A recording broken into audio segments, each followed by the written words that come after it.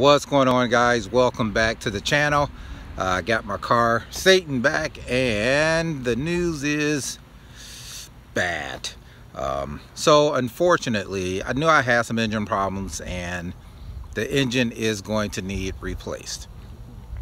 How much is that? That's like four grand and that's not gonna happen.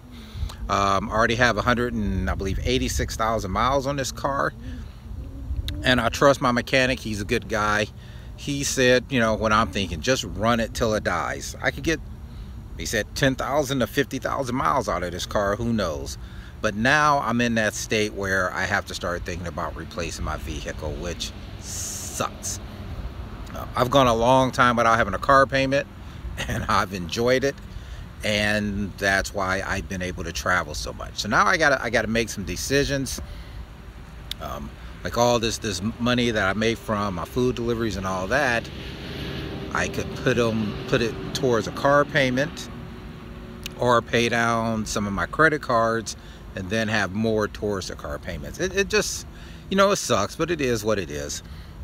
So I hate I hate I'd rather be kicked in the gonads than to go car shopping. I hate oh I hate car shopping uh, I've been looking at uh, like a Prius which I think are really nice and since I'm doing more city miles having that 50 miles per gallon would be great.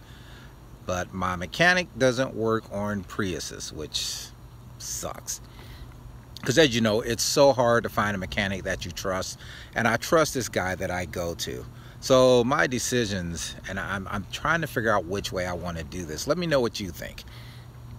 Would I be better off making bigger payments on my credit cards and then say two three four five six months from now when it's time to get a replacement car not having as big as a down payment or pay smaller amounts on those credit cards. And then when it comes time to replace this car which I love this car have a bigger down payment. Um, and I, I, don't know about going to a different car. I've this is my third Hyundai my first one, I had over 200,000 miles on it. My last one, I had over 300,000. This one is currently at 186,000. And why no car uh, is cheap for the cost of what kind of car you get in a Hyundai, I feel it's a great deal. Now, my mechanic also told me recently with Hyundais, they've been having some engine problems and some of them have been recalled. So right now I'm trying to do the smart thing and I don't want to rush into getting another car. So I'm trying to just run this thing till it dies.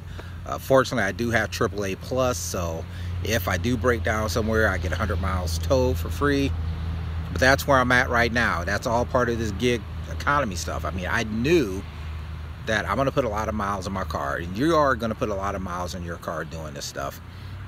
But like I said, I paid this I paid it off early, which was good, and I just don't want to have another car payment.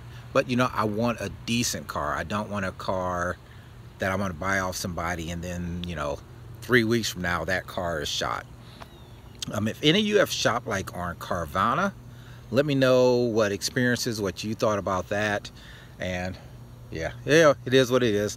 All right, guys, that was just a super quick video. I got to think about getting to work and man, I'm, I'm going to miss this car. Uh, hopefully, she's gonna last me for a while. All right guys i'll see you in the next video